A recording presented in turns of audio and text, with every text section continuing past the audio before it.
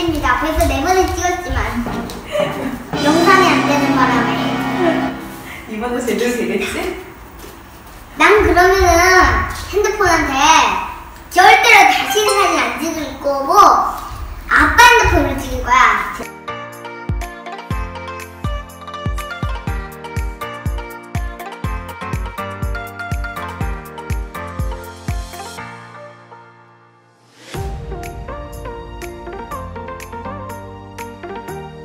제대로 되는 것 같아. 가자. 따따따 MBC 뉴스입니다. 오늘은 저도 유연하지만 그래도 자격증에 대해서 말해보려고 MBC 뉴스에 찾아왔습니다. MBC 뉴스 아니잖아. 네, 일로 와, 일로. 저 가자해요 시식하면서. 어, 그 다시 첫 번째 질문. 안녕하세요 엄마 네, 안녕하세요. 첫 번째 질문이에요 생활 스포츠 지도 자격증 대체 뭔가요? 하포 생활 스포츠 지도사 자격증이라는 거는 어, 체육을 지도할 수 있는 사람을 얘기를 하고 이게 국가공인 자격증이라고 쉽게 얘기하면 보시면 돼요. 뭐 요가 강사나 필라테스 강사, 헬스 트레이너 자격증이 대부분 이제 업체들에서 하는 게 많지. 이거는 국가공인 자격증이고 인터넷에 보면은 정확하게 정의가 체육 지도자란 학교, 직장, 지역사회 또는 체육단체 등에서 체육을 지도할 수 있도록 국민체육진흥법에 따라 해당 자격을 취득한 사람을 말해요.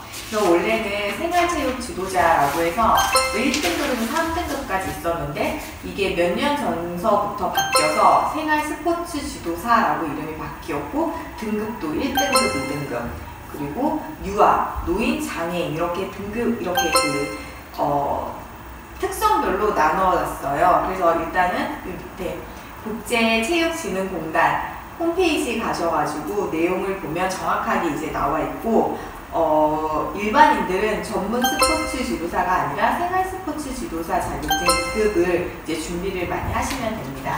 네. 생활 스포츠 자격증 제대로 따야 되나요? 오호호 만 18세 이상만 가능해서 초등학생은 딸 수가 없고요. 그 대신 이제 체육학과를 졸업한 학생부터 해서 일반인 그리고 운동에 직, 직- 관심이 많은 직장인이나 주부 여러 사람들 건강한 사람이면 모두 다 이제 획득을 할 수가 있습니다. 그래서 지금 18세 이상의 건강한 성인이면 누구나 시험을 준비할 수는 있어요. 체육학과를 나왔든 안 나왔든. 좀 일어나세요.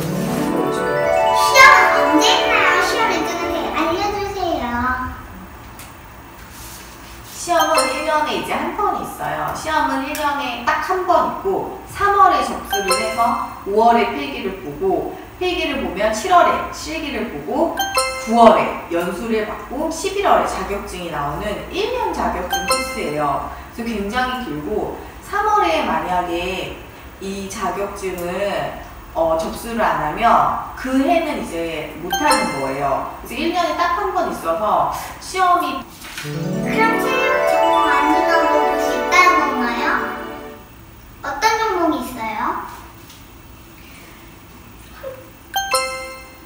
뭐가 있을까요? 알아봐 줘볼래요? 지금 저보고 요가! 없어. 복싱! 있어. 결국 매달리기! 그래서 이게 지금 시험은 어, 자격 종목이 지금 2018년도 기준으로 총 54가지가 있어요. 54가지? 그래서 뭐 체조도 있고 제일 많이 보는 게 이제 보디빌딩, 그 다음에 수영, 태권도 등이 좀 많이 시험을 보고 농구 이런 것도 있는데 이제 보디빌딩이 거의 50% 이상인 걸 알고 있고 연수 받을 때도 봐도 보디빌딩 반이 있고 그다음에 수영 반이 제일 좀 이제 크더라고요. 대부분 보디빌딩을 많이 보는 걸로 알고 있습니다. 음,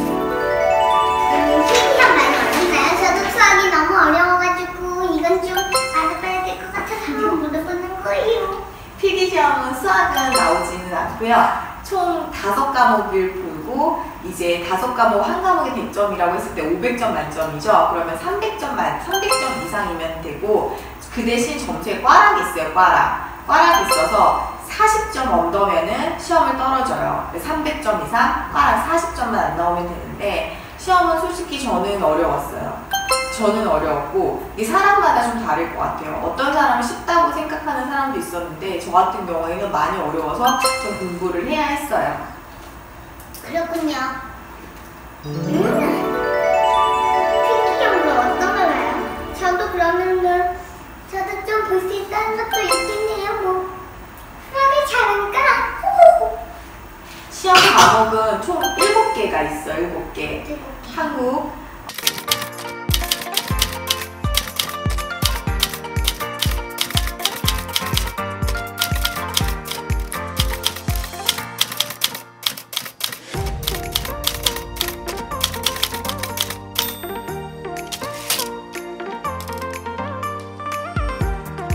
어, 스포츠 교육학, 사회학, 윤리학, 심리학, 그리고 생리학, 역학, 체육사 이렇게 일곱 과목이 있고 일곱 과목 중에 다섯 과목을 고를 수 있어요. 그러니까 일곱 과목이 있는데 시험은 내가 다섯 과목을 골라서 거기서 100점 만점에 500점인데 300점 이상만 되면 되는 거예요.